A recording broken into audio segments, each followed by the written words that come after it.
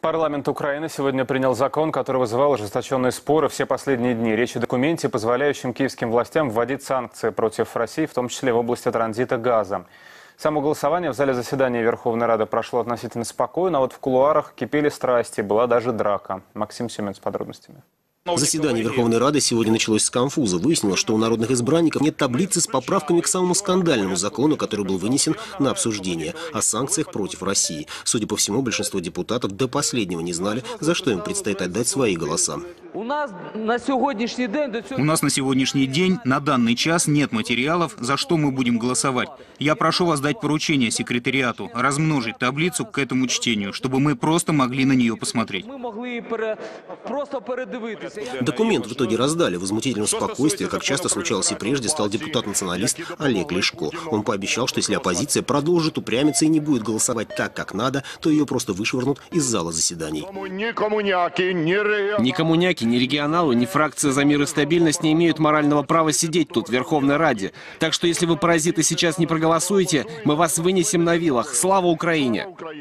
Оппозиция все же проголосовала против, но это не помогло, закон был принят. Эксперты считают, что этот документ теперь ударит прежде всего по самим украинским гражданам. Он позволяет исполнительной власти без решения суда применять 25 видов санкций. Среди них арест активов физических и юридических лиц, запрет любой деятельности на территории Украины, запрет на въезд и перемещение. Кроме того, киевские власти теперь смогут на основании этого закона останавливать транзит ресурсов через свою территорию, включая транспортировку газа. Мы получили фактически законопроект, который устанавливает диктаторские права для э, президента в лице Совета национальной безопасности и обороны. Просто диктаторские. В зале заседания Верховной Рады сегодня было относительно спокойно, зато страсти кипели в кулуарах. Олег Лешко попытался таки исполнить свою угрозу и вступил в перепалку с внефракционным депутатом Александром Шевченко. Лешко посоветовал коллеге отправиться воевать на Донбасс. Закончилось все дракой.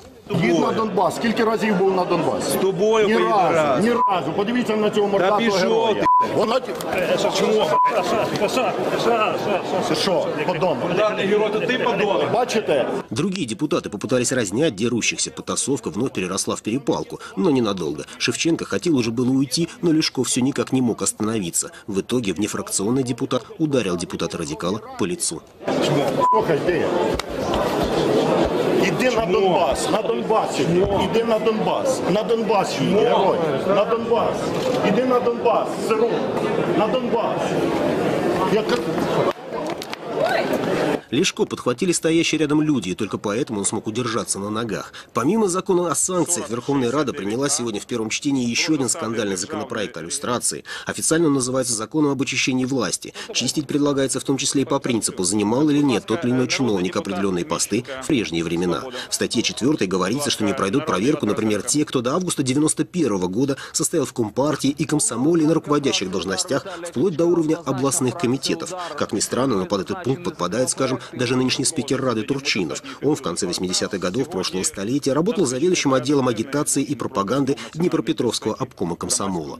И сегодня же народные избранники приняли поправки в закон о газотранспортной системе. Теперь 49% ГТС страны могут продать западным инвесторам. Оппозиция также выступала против этого, но ей сегодня просто не дали высказать свое мнение. Это означает, что мы даром отдали американцам нашу газотранспортную систему. Если бы мы пригласили в акционеры болгар, румын, Будь ласка, відключіть мікрофон. Принятые сегодня в Киеве законы уже вызвали недовольство некоторых европейских политиков. Так, премьер-министр Словакии Роберт Фицо заявил, что следует подготовиться на случай перебоев с поставками газа. По его мнению, Украина принимает решения, которые могут навредить ЕС.